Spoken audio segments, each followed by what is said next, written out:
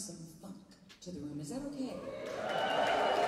You know, I mean, you don't have to, but I dare you not to.